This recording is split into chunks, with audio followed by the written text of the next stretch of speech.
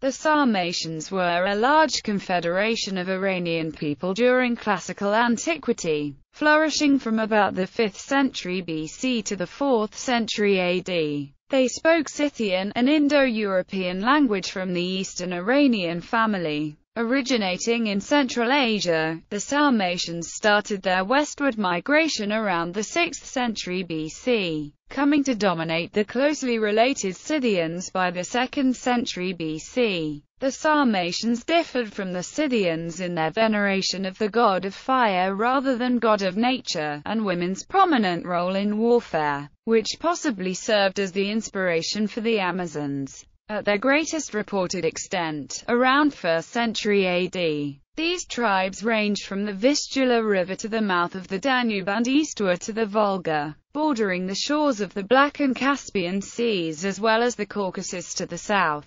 Their territory, which was known as Sarmatia to Greco-Roman ethnographers, corresponded to the western part of Greater Scythia. According to authors Arrowsmith, Fellows and Graves Hansard in their book A Grammar of Ancient Geography published in 1832, Sarmatia had two parts. Sarmatia Europea and Sarmatia Asiatica covering a combined area of 503,000 square miles or 1,302,764 square kilometers. In the 1st century AD the Sarmatians began encroaching upon the Roman Empire in alliance with Germanic tribes. In the 3rd century AD their dominance of the Pontic steppe was broken by the Germanic Goths. With the Hunnic invasions of the 4th century, many Sarmatians joined the Goths and other Germanic tribes in the settlement of the Western Roman Empire. A related people to the Sarmatians known as the Alans survived in the North Caucasus into the early Middle Ages,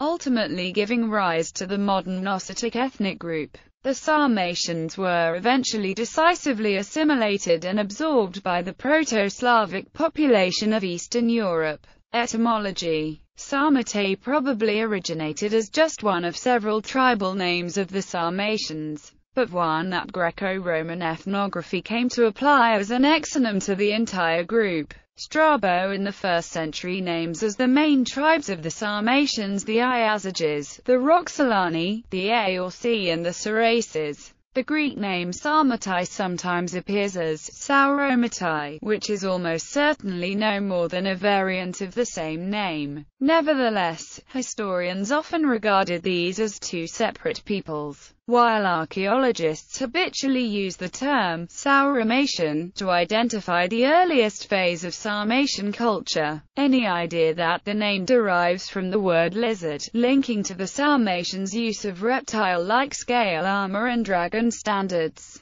is almost certainly unfounded. Both Pliny the Elder and Jordanes recognize the Sar and Sauro elements as interchangeable variants, referring to the same people. Greek authors of the 4th century mention Sarmate as the name of a people living at the Don, perhaps reflecting the ethnonym as it was pronounced in the final phase of Sarmatian culture. Oleg Trubachyov derived the name from the Indo-Aryan asterisk Sarmat. The Indo-Aryan and Indo-Iranian word asterisks are and the Indo-Iranian adjective suffix mat. By this derivation was noted the unusual high status of women from the Greeks' point of view and went to the invention of Amazons. Other scholars, like Harold Walter Bailey, derived the base word from Avestan Sar from Zar in Old Iranian. It was also derived from the name of Avestan region in the West Sairima and connected with the 10th-11th century AD Persian epic Shahnameh's character, Salm. Origins The Sarmatians emerged in the 7th century BC in a region of the steppe to the east of the Don River and south of the Ural Mountains in eastern Europe. For centuries they lived in relatively peaceful coexistence with their western neighbors the Scythians. Then, in the 3rd century BC, they fought with the Scythians on the Pontic steppe to the north of the Black Sea. The Sarmatians were to dominate these territories over the next five centuries. Pliny the Elder wrote that they ranged from the Vistula River to the Danube. Archaeology In 1947, Soviet archaeologist Boris Grakov defined a culture flourishing from the 6th century BC to the 4th century AD, apparent in late Kurgan graves, sometimes reusing part of much older Kurgans. It was a nomadic steppe culture ranging from the Black Sea eastward to beyond the Volga, and is especially evident at two of the major sites at Kardai, Kardylova and Chernaya in the Trans-Uralic steppe. Grakov defined four phases. Sauromatian, 6th-5th centuries BC. Early Sarmatian, 4th-2nd centuries BC. Middle Sarmatian, late 2nd century BC to late 2nd century AD.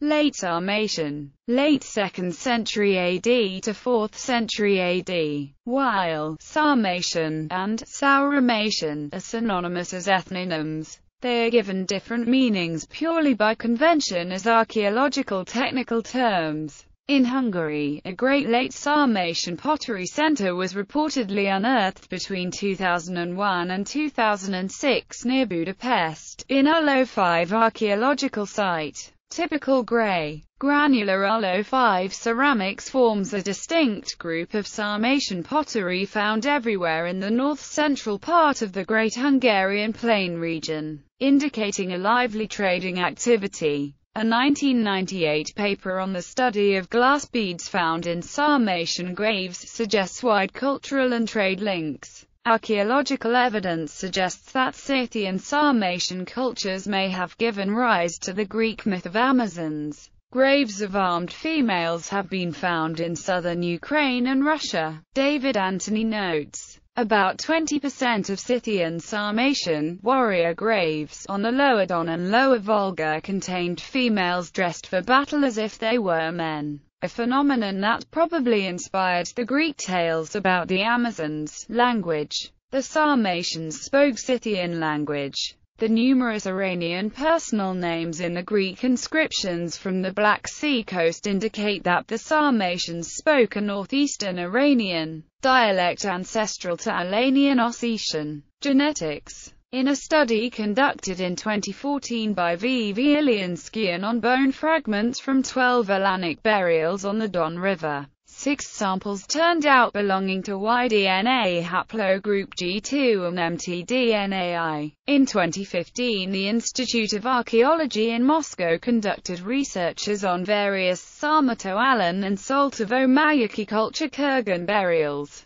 In this analyses, the two Alan samples from 4th to 6th century AD turned out with Y-DNAs G2 a P15 and R1AZ94, while from the three Sarmatian samples from 2nd to 3rd century AD two turned out both with Y-DNA J1M267 and one with R1A and the three Saltovo-Mayaki samples from 8th to 9th century AD turned out with Y-DNAs G, J2AM410 and R1AZ94 respectively appearance. Like the Scythians, Sarmatians were of a Caucasoid appearance. Sarmatian noblemen often reached 1.70-1.80 meters as measured from skeletons. They had sturdy bones, long hair and beards. The Alans were a group of Sarmatian tribes, according to the Roman historian Ammianus Marcellinus. He wrote, Nearly all the Alani are men of great stature and beauty. Their hair is somewhat yellow, their eyes are frighteningly fierce.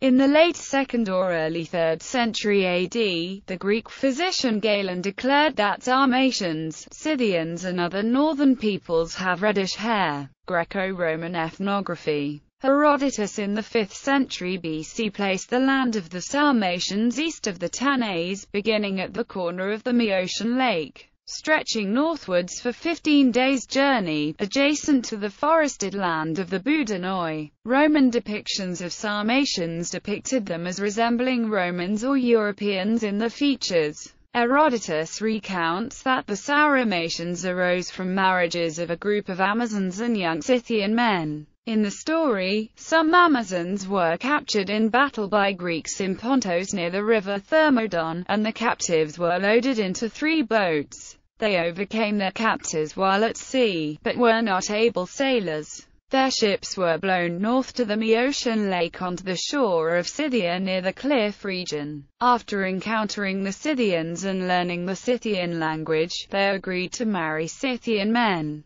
but only on the condition that they move away and not be required to follow the customs of Scythian women. According to Herodotus, the descendants of this band settled toward the northeast beyond the Tanais River and became the Sauromatians. Herodotus' account explains the origins of their language as an impure form of Scythian. He credits the unusual social freedoms of Sauromati women, including participation in warfare, as an inheritance from their supposed Amazon ancestors. Later writers refer to the woman-ruled Sarmate. Herodotus' assertion that the Sarmatians were descendants of mythological Amazons is likely a fiction to explain certain idiosyncrasies of Sarmatian culture as compared to Greek. Hippocrates explicitly classes them as Scythian and describes their warlike women and their customs. Their women, so long as they are virgins, ride, shoot, throw the javelin while mounted, and fight with their enemies. They do not lay aside their virginity until they have killed three of their enemies, and they do not marry before they have performed the traditional sacred rites. A woman who takes to herself a husband no longer rides, unless she is compelled to do so by a general expedition. They have no right breast, for while they are yet babies their mothers make red-hot a bronze instrument constructed for this very purpose and apply it to the right breast and cauterize it, so that its growth is arrested, and all its strength and bulk are diverted to the right shoulder and right arm. Polybius mentions them for the first time as a force to be reckoned with in 179 BC. Strabo mentions the Sarmatians in a number of places, but never says much about them. He uses both the terms of Sarmatai and Sauromatai, but never together, and never suggesting that they are different peoples. He often pairs Sarmatians and Scythians in reference to a series of ethnic names, never stating which is which, as though Sarmatian or Scythian could apply equally to the male. Strabo wrote that the Sarmatians extend from above the Danube eastward to the Volga, and from north of the Dnieper River into the Caucasus, where, he says, they are called Caucasia like everyone else there. This statement indicates that the Alans already had a home in the Caucasus, without waiting for the Huns to push them there. Even more significantly, he points to a Celtic admixture in the region of the Bastarnae, who, he said, were of Germanic origin.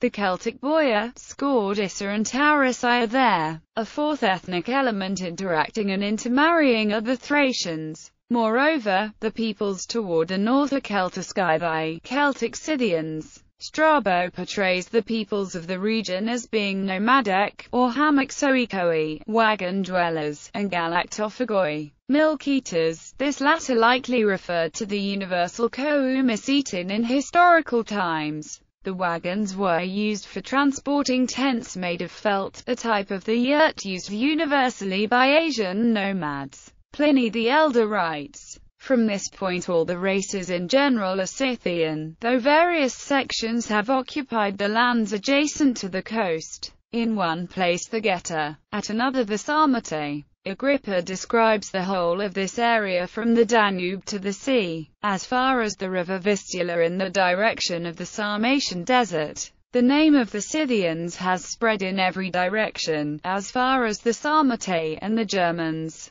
But this old designation has not continued for any except the most outlying sections. According to Pliny, Scythian rule once extended as far as Germany. Jordanes supports this hypothesis by telling us on the one hand that he was familiar with the geography of Ptolemy, which includes the entire Balto-Slavic territory in Sarmatia, and on the other that this same region was Scythia. By Sarmatia, Jordanes means only the Aryan territory. The Sarmatians were, therefore, a subgroup of the broader Scythian peoples. Tacitus de origine situ Germanorum speaks of mutual fear between Germanic peoples and Sarmatians. All Germania is divided from Gaul, Rhaetia, and Pannonia by the Rhine and Danube rivers, from the Sarmatians and the Dacians by shared fear and mountains. The ocean laps the rest, embracing wide bays and enormous stretches of islands. Just recently, we learned about certain tribes and kings, whom war brought to light. According to Tacitus, like the Persians, the Sarmatians wore long, flowing robes. Moreover, the Sarmatians exacted tribute from the Cotini and Ossa, and iron from the Cotini, to their shame. By the 3rd century BC, the Sarmatian name appears to have supplanted the Scythian in the plains of what is now South Ukraine. The geographer, Ptolemy, reports them at what must be their maximum extent, divided into adjoining European and Central Asian sections. Considering the overlap of tribal names between the Scythians and the Sarmatians, no new displacements probably took place. The people were the same Indo-Europeans, but were referred to under yet another name. Later, Pausanias, viewing votive offerings near the Athenian Acropolis in the 2nd century AD, found among them a Sauromic breastplate. On seeing this a man will say that no less than Greeks are foreigners skilled in the arts. For the Sauromati have no iron, neither mined by themselves nor yet imported. They have, in fact, no dealings at all with the foreigners around them. To meet this deficiency they have contrived inventions. In place of iron they use bone for their spear blades and cornel wood for their bows and arrows, with bone points for the arrows. They throw a lasso round any enemy they meet, and then turning round their horses upset the enemy caught in the lasso. Their breastplates they make in the following fashion. Each man keeps many mares, since the land is not divided into private allotments, nor does it bear anything except wild trees, as the people are nomads. These mares they not only use for war, but also sacrifice them to the local gods and eat them for food. Their hoofs they collect, clean, split, and make from them as it were python scales. Whoever has never seen a python must at least have seen a pine cone still green. He will not be mistaken if he liken the product from the hoof to the segments that are seen on the pine cone. These pieces they bore and stitch together with the sinews of horses and oxen, and then use them as breastplates that are as handsome and strong as those of the Greeks, for they can withstand blows of missiles and those struck in close combat. Pausanias' description is well borne out in a relief from Tanais. These facts are not necessarily incompatible with Tacitus, as the Western Sarmatians might have kept their iron to themselves, it having been a scarce commodity on the plains. In the late 4th century, Ammianus Marcellinus describes a severe defeat which Sarmatian raiders inflicted upon Roman forces in the province of Valeria in Pannonia in late AD 374. The Sarmatians almost destroyed two legions, one recruited from Moesia and one from Pannonia. The last had been sent to intercept a party of Sarmatians which had been in pursuit of a senior Roman officer named Equitius. The two legions failed to coordinate, allowing the Sarmatians to catch him unprepared. Decline in the 4th century. The Sarmatians remained dominant until the Gothic ascendancy in the Black Sea area. Goths attacked Sarmatian tribes on the north of the Danube in Dacia, which is known today as Romania. The Roman Emperor Constantine called his son Constantine II up from Gallia to run a campaign north of the Danube. In very cold weather, the Romans were victorious, killing 100,000 Goths and capturing Ariaricus the son of the Goth king. In their effort to halt the Gothic expansion and replace it with their own on the north of Lower Danube, the Sarmatians armed their captives. After the Roman victory, however, the local population revolted against their Sarmatian masters, pushing in beyond the Roman border. Constantine, on whom the Sarmatians had called for help, defeated Limigantus, the leader of the revolt, and moved the Sarmatian population back in. In the Roman provinces, Sarmatian combatants were enlisted in the Roman army, whilst the rest of the population was distributed throughout Thrace. Macedonia and Italy. The Origo Constantini mentions 300,000 refugees resulting from this conflict. The Emperor Constantine was subsequently attributed the title of Sarmaticus Maximus. In the 4th and 5th centuries, The Huns expanded and conquered both the Sarmatians and the Germanic tribes living between the Black Sea and the borders of the Roman Empire. From bases in modern-day Hungary, the Huns ruled the entire former Sarmatian territory. Their various constituents flourished under Hunnish rule, fought for the Huns against a combination of Roman and Germanic troops, and went their own ways after the Battle of Chalons. The death of Attila and the appearance of the Chuvash ruling elements west of the Volga current Russian territory. The Sarmatians were eventually decisively assimilated and absorbed by the Proto-Slavic population of Eastern Europe around the early medieval age. Possible influence on Arthurian legends Scholars C. Scott Littleton and Anne C. Thomas posited that the legends of King Arthur and the Holy Grail derive from Sarmatian legends. The authors find parallels between the Sarmatian legend of Batrads, a Sarmatian king commanding his companions to throw his magical sword into a lake and Arthur's instructions to Sir Bedivere to throw his magical sword Excalibur into a lake. The authors also use historical records to demonstrate the presence of a 2nd century AD colony of Sarmatian veterans at Bremetennacum, in modern Lancashire, as a historical source for the legends entering Britain. A more extensive study of the Alano-Sarmatian impact on the Roman Empire and the Arthurian tradition is presented by C. Scott Littleton and Linda A. Malkarin from Scythia to Camelot. List of Sarmatian tribes Alans, Antes, A or Arcaragantus and Limogantus, possibly sub-tribes of Roxolani, Basilians, Iaxamate, Iazyges, Metanaste, Roxolani, Royal Sarmatians, Sai, Serboi, Seraces, Spali, Tyrigite,